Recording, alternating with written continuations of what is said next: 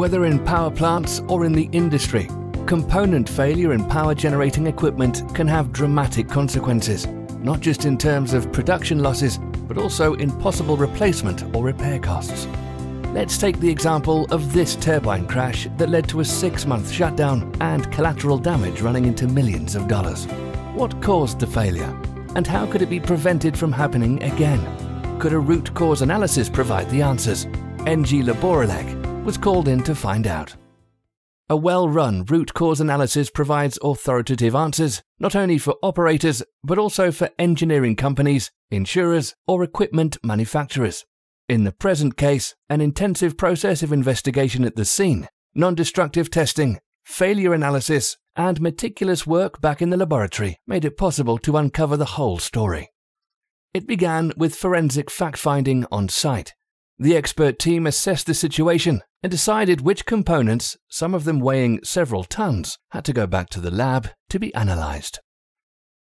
Back at Laborelec, all the components, large and small, were given a painstaking visual inspection. The visual inspection was a very big task because we received a very large number of parts and moreover they had a very large size. We had to look at every detail, small features, discoloration and basically all the damage. All those things give us information which are key and give us evidences about the sequence of events. So nothing is left to chance if the root cause analysis is done properly. Then came the metallurgical examination, which involved cutting down samples from crucial components to a few centimeters in size for polishing, ready for the electron microscope. The cutting process generates heat, with a risk of changing the material's characteristics. It had to be done carefully and with precision so that the forensic examination was not compromised. After the examination under the microscope, the samples were subjected to metallographic examination and hardness measurement.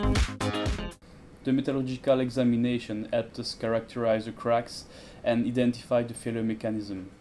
Also, we evaluated the material structure and the weld quality.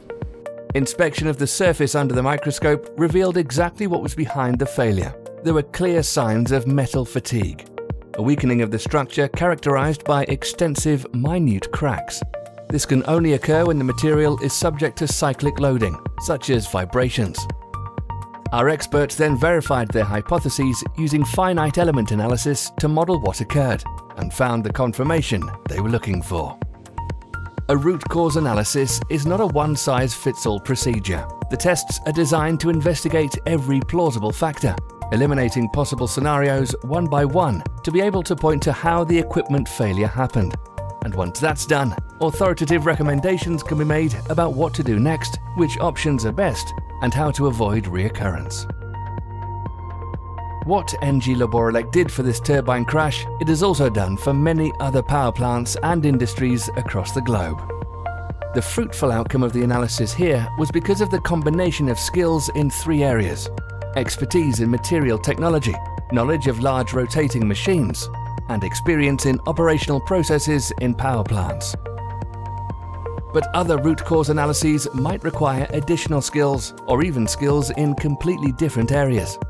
As a multidisciplinary centre of expertise, Laborelec brings together skills in fields as diverse as chemistry, cybersecurity, nuclear technologies, renewable energies, power grids, energy management, and many others, all within the same community of experts. Don't hesitate to get in touch with us.